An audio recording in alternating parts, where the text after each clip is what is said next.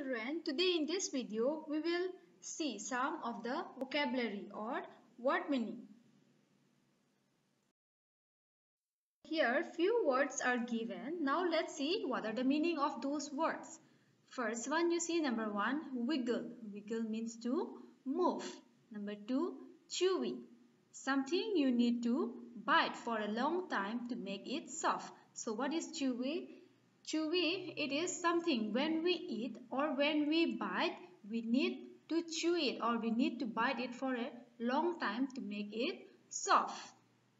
Tree, bark. Bark means covering of a tree. The outer cover of a tree, the brown color one, that is called the bark or it is a covering of tree. 4.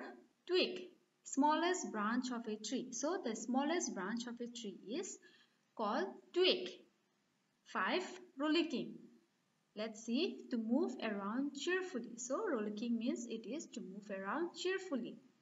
6. Meadow. Field covered in grass and has small flowers in it. So meadow are those field where grass is fully covered and small small flowers grows there.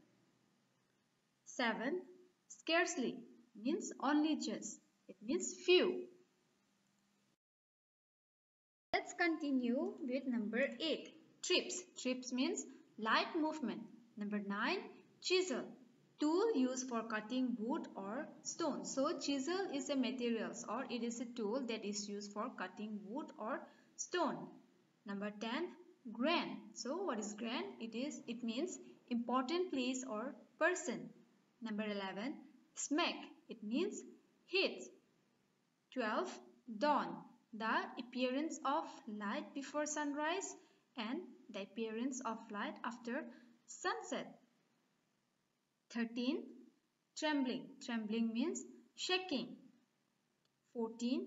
Fierce. It means fierce means scary or dangerous. So we will stop here for today.